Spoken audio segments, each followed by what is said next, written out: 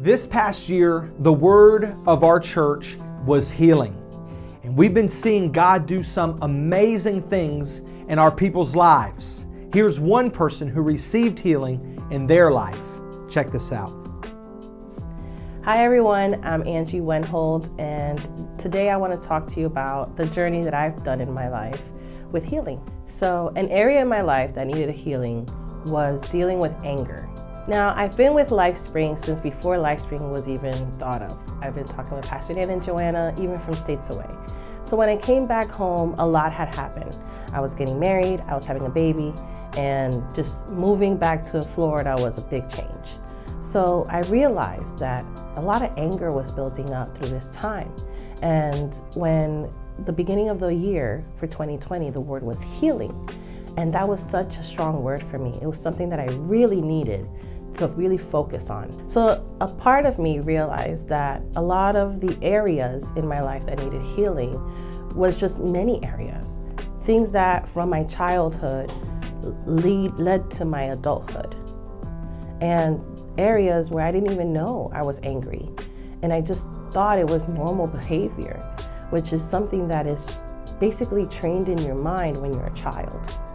So, the beginning of the year, Pastor Glenn came and spoke to a lot of the group members and volunteers about anger and things that his story and his past affected him. And he stated how anger really portrayed a certain person and how everyone is affected. So God gave me this that revelation that I needed to focus on where that anger was festering from. Go back to my childhood. Go back to why certain areas was making me a little bit upset and why I was reacting that way and how could I change my reaction. But when I went back and thought, what is really causing this anger? I realized it's not the people around me. It's something within me that I needed to heal. So I love the way that Pastor Glenn had made it out. That you just need to take a step back and realize what it is and deal with that healing. Now, the second best part of the year was the marriage conference by Pastors Jeff and Lynn. That was the most heartwarming and touching conference for myself and my husband.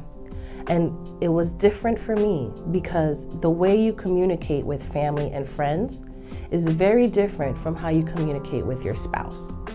And my husband and I are two strong heads and we can go back and forth, but we had to learn how to communicate. And really, this conference was to teach me how to deal with me and not how to change him, which is tough for people to understand, especially when you're newlyweds. And so after that marriage conference, my husband and I sat down and we realized that there's so much we know about each other and we're really good friends outside of our marriage. So why am I trying to change him when I love him for the way he is? And that took me some time and I healed from that and realizing that that's just a chain from the past, from past generations of having to change somebody to fit you when they're supposed to be who they are to fit with you perfectly. So that's why I wanted to share my story with you.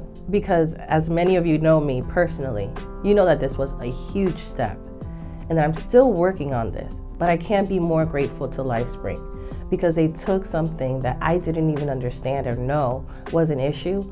And as a church, we worked on it together and I had the love and the support to deal with these areas. And just like anyone can be dealing with anything, healing is a number one priority because you cannot help others or minister to others or work in a church if your heart isn't healed. Because what you may show can be anger, for example. And I'm just so thankful that I was able to understand this anger and I was able to change the way I react to certain things and I'm so grateful.